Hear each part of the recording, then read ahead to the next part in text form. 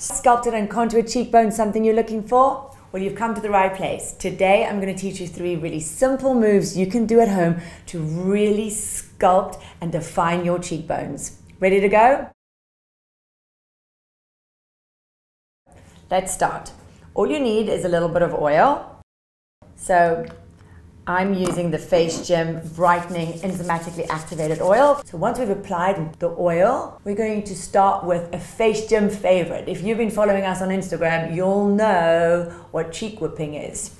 Okay, so hold your skin tight.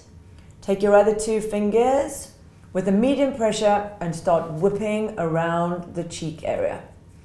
You know, take it slow in the beginning. Use no rush you know, get your comfort zone, go at your own pace.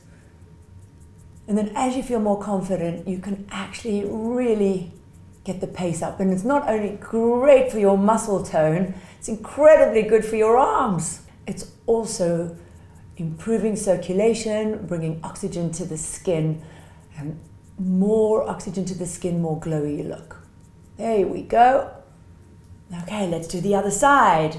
Don't get worried if you're actually going a little bit red. That's good. It means the blood circulation's actually working. Another gym favorite. So create a, a hook using a medium pressure. Just tuck into that zygomaticus there. And then as you go around, just scoop it up can you see? It makes an immediate difference.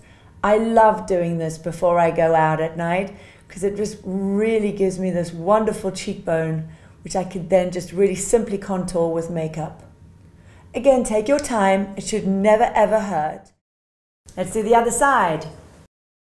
So lastly, I'm going to teach you to do your caterpillar cheek sculpt. So raise your arm, go to the opposite side, Place your fingers on the zygomaticus muscle and start caterpillaring up. Again, if you're feeling nice and red and warm, that means it's actually working. There we go. Can you see that lovely lift? And these are so simple and easy to do. There we go. That was a really simple five minute cheek sculpting routine. Why not try and actually incorporate it into your like morning or evening routine? Well, I hope you loved my cheek sculpting exercises today. If you want to learn more, why don't you head over to facegym.com, sign up to a class. Why not do it with a friend or actually book a one to one with one of our master trainers? Don't forget to tag me in your progress because I'd love to see how you're improving with your facial fitness. Until next time.